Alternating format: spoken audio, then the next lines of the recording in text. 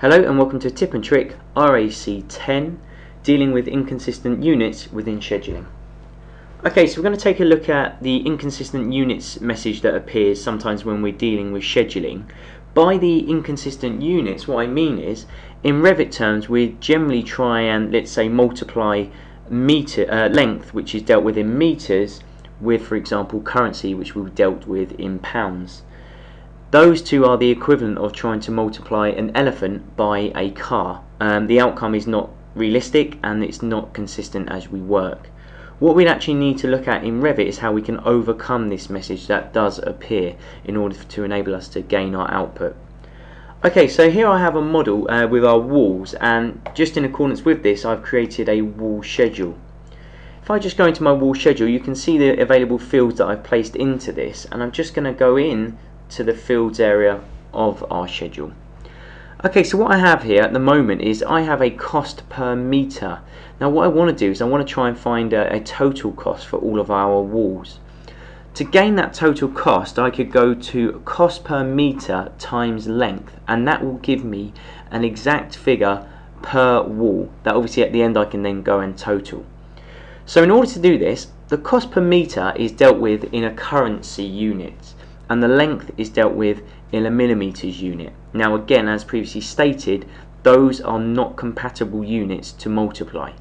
So what I need to do is show you firstly the inconsistent units message that will appear.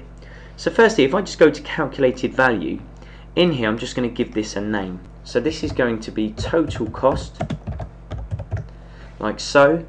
The discipline is going to be common, and the type is going to be a currency because we want to see this as a pound output.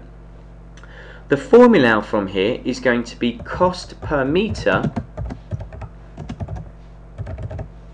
times the length. Okay, so that hopefully would normally be the output or the input that we would look to try and achieve our, our overall figures. If I now click OK though, however, this now gives us a message of inconsistent units. So this is where it's telling us, well actually you cannot multiply uh, a pound by a length, for example. So what we need to do then is we need to look at how we can get rid of this or how we can do this. Um, and basically what we're now looking to do is break these both of these figures down to just numbers. So what I would do is this. The formula remains the same pretty much apart from I'm going to put a bracket here and a bracket then just at the end like so. I'm then just going to put a divide by 1. So what we have is open bracket, cost per meter, divide by 1, close bracket. Now that's the law of unity in mathematical terms, and that will basically mean if we divide or multiply the, the figure by 1, this will then in fact omit the unit.